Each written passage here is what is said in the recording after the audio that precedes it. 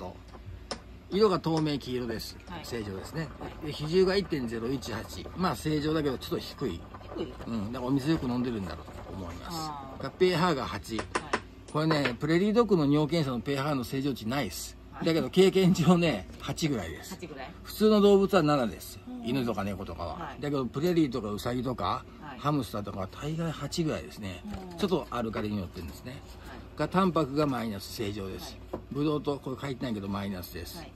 ケトンも出てないマイナス。はい。ビリルビンも出てないと。鮮血も出てない。全部マイナスで正常範囲です、はい。でそれの顕微鏡検査所見がこれ。はい。でこれのこれは40倍100倍400倍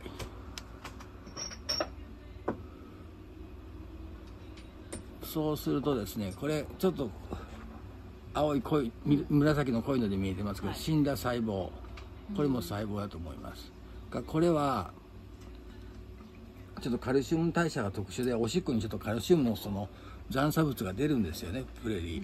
それがこういうのだと思います。で細胞がまた出てます。これねちょっと多いね細胞。に20視野で20回こう画面を見てうん。1個ぐらいならいいです。だけどまわかる。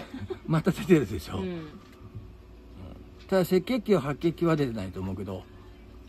多いよね。ね出てますねちょこちょこ。それ何線出るんですか？それはですね剥がれ落ちてくるのが多いということです。ってことはちょっと泌尿器の機能が落ちてるかもしれませんね OK じゃあそれをまとめますと白血球は出てません。赤血球も出てない。細胞成分がそうですね5視野に1個ぐらい。正常が20視野に1個ぐらいです、多いよね。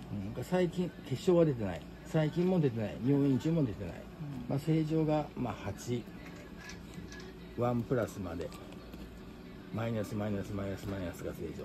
マイナスマイナスが正常。だからこれがちょっとだけ多いと。多いんだよねまあでもねそこまで深刻になることはないとは思うんですけど、あのー水をしっかり飲めるようにはい。しといてください。はい。であとは冬法がもうちょっと時間かかはいわかりました。はい。はい